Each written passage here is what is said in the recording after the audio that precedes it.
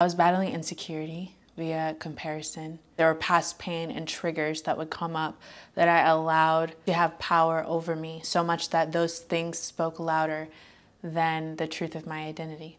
And this is what he said to me. He said, Deanna, it's dust. He said, I want to free you from obsessing and feeling shame for what will return to dust. He said, What you see is skin tone, dust. You see body shape, dust. You see muscles, dust. You see rolls, it's dust. There's more than meets the eye. You are the glory of my image.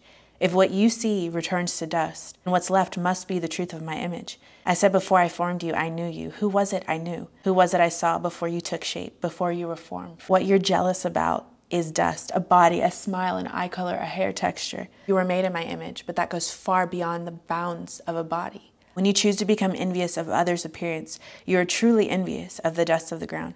This is not to discredit the beauty of my creations. They are not lesser, as you are not lesser. If you do not truly hear what I am saying, this lesson will boost your pride, and if so, you are still missing it. Everyone is an intricate brushstroke on my canvas, but to live wishing you looked like others or become crippled by another's appearance is truly to be envious of something that you currently walk on.